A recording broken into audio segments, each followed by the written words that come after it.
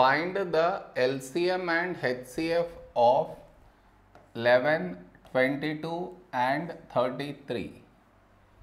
To find the HCF and LCM, first we should do the prime factorization of each number separately that is see. 11,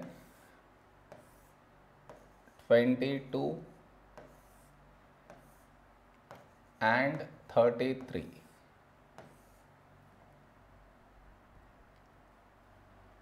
Okay, next. Now here we have 11. 11 is a prime number, so we take 11 ones 11. Now here each digit is 2 and most important thing 2 is a prime number, so we take 2 here. Now first number is 2, when do we get 2 in 2 table? 2 ones 2. Next number is 2, when do we get 2 in 2 table? 2 ones 2. Now here we have 11, 11 is a prime number, so we take 11 ones 11.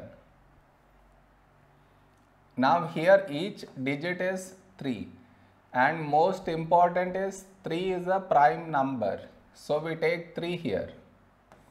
First number is 3, when do we get 3 in 3 table? 3 ones 3.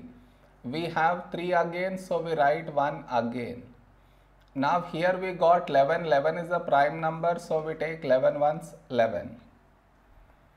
So now our HCF is, HCF is the product of numbers that are present here and here and also here.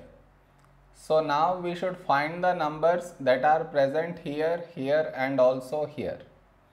I repeat, we should find the number that are present here, here and also here. So let us find starting with the number 11. Do we have 11 here? Yes. So next place, do we have 11 here? Yes. So now you cut 11 right here. No more numbers are left. Therefore, we have only one number 11 present in all the three places. Therefore, this is our HCF. Now to get LCM,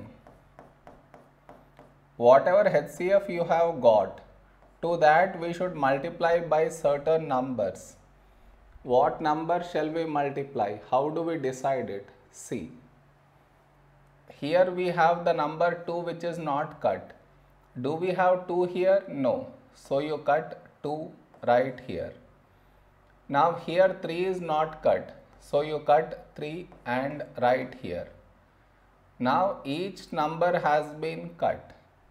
So the LCM is, now you multiply these numbers.